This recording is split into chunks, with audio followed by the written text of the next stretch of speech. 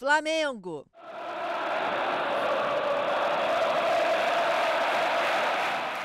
Atlético Mineiro.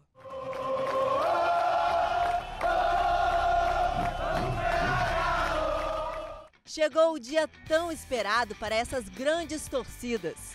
Depois de um ano complicado para o Flamengo, o time da Gávea está finalmente longe da confusão no brasileiro e busca o bicampeonato da Copa do Brasil.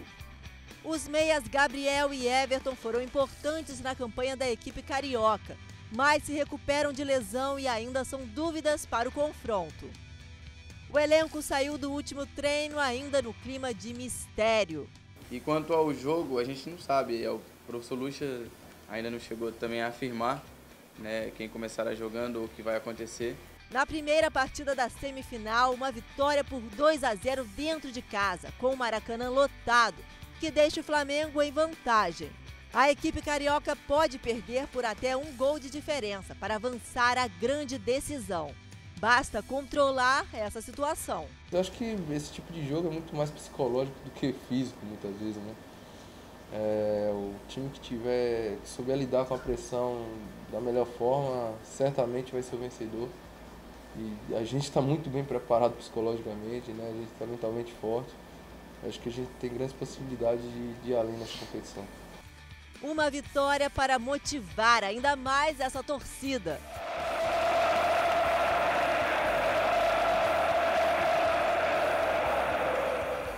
E esses milhares de corações apaixonados fizeram a diferença para o Flamengo chegar até aqui e foram praticamente um jogador a mais em campo.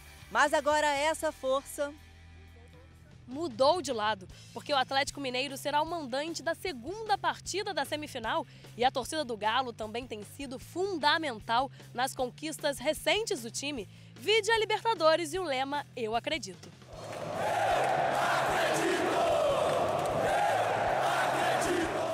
Acho que o ambiente vai ser favorável para mais uma reviravolta é, para a história do Atlético. Lógico que a gente respeita a equipe do Flamengo, mas dentro do nosso território a gente tem que cantar de galo. O que dá para fazer acreditar?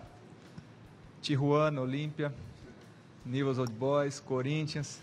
Acho que não precisa dar mais motivo para o torcedor poder acreditar que a gente pode reverter o resultado. É justamente nesse histórico que o Galo se apega principalmente em uma virada recente. Na fase anterior da Copa do Brasil, eliminou o Corinthians, depois de também perder por 2 a 0 fora. O problema é que naquela partida, o Meia Guilherme foi decisivo.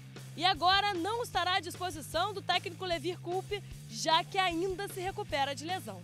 A equipe titular o treinador não quis revelar. Treino fechado para a imprensa, em vão porque os jogadores acabaram com qualquer mistério. Acho que a gente trabalhou a bola parada, a gente tem a volta do Léo Silva, tem a volta. É, não tem só a volta do Léo Silva, só fica o resto dele. Mas não tem nada a esconder. Em 2003, as duas torcidas cumpriram bem seus papéis e ficaram empatadas no quesito apoio ao time. Enquanto a do Galo foi decisiva para a conquista do título inédito da Libertadores, a rubro-negra mostrou por que é a maior do país e levou o time a levantar a taça da Copa do Brasil. Em 2014, as duas equipes mostraram reação apenas no final da temporada. E para essa semifinal, a pergunta que fica é: qual torcida vai fazer a diferença?